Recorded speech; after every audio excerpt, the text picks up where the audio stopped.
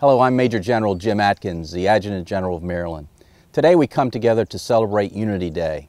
It gives us in the military department a special opportunity to recognize the many diverse backgrounds and cultures that make us uniquely American.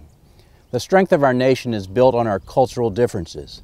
We must strive to understand our diverse backgrounds, to gain insight, appreciation, and respect for one another.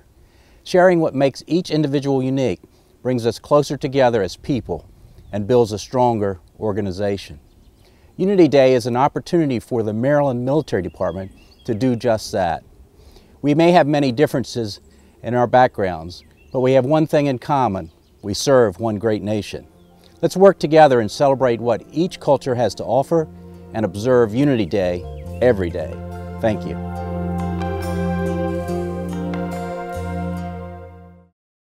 Hello, I'm Chaplain Lee, the Joint Force Headquarters Chaplain for the Maryland National Guard.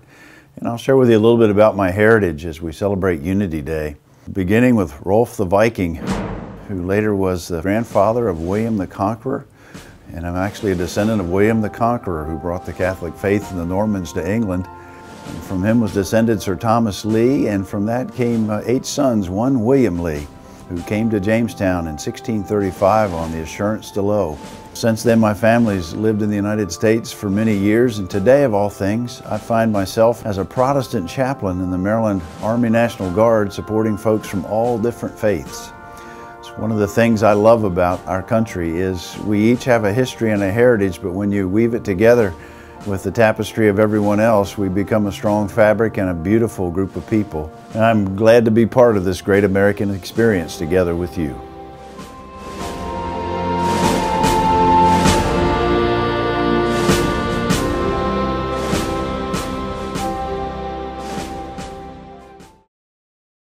Hola, me llamo Sergeant First Class Carmen Wilkins y estoy con Joint Forces Headquarters y yo voy a hablar de Panamá.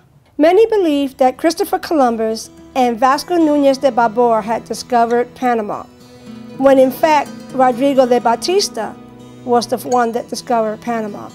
He was sailing westward from Venezuela in 1501 in search of gold, was the first European to explore the Isthmus of Panama.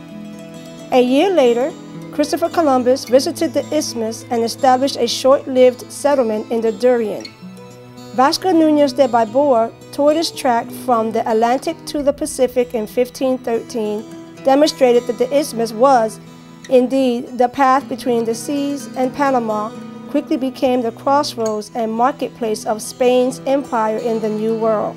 Gold and silver were brought by ship from South America, hauled across the isthmus, and loaded abroad ships for Spain.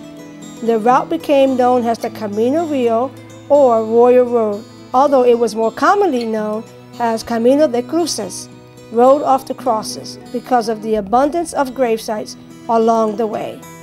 And there you have a brief